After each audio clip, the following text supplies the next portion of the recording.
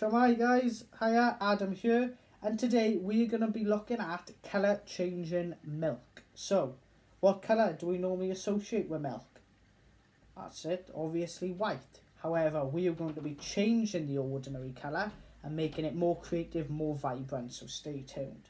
So, for today's experiment, we will need milk, a small plate, some dish soap. I'm using Fairy Up Liquid, but you can use any cotton swabs or cotton buds, and a range of food colouring.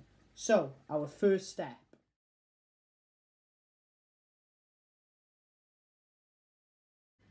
Firstly, we need to add our milk to our plate so it covers the bottom.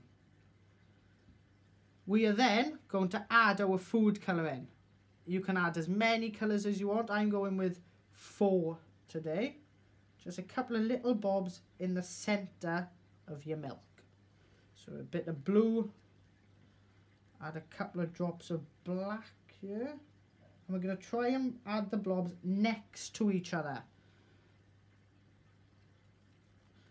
A little bit of orange now. As you can see, they're starting to move. And then finally, a little blob of green. And at the moment, as you can see, it's just some milk with a little bit of food colouring.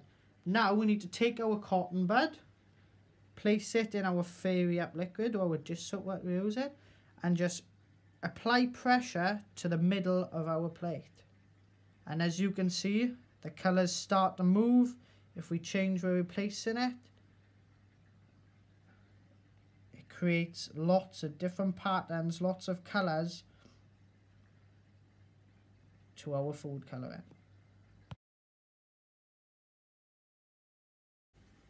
Okay, so now you've seen the magic happen.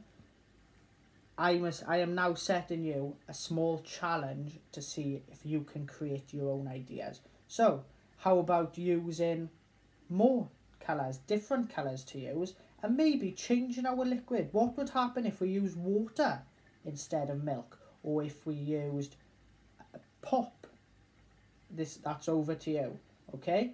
So the reason for this experiment is the secret behind the bursting of colours and it's the chemistry of the tiny drop we used on the soap.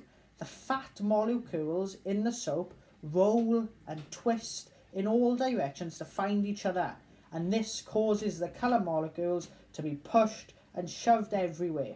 So, as I said, you, the challenge is over to you.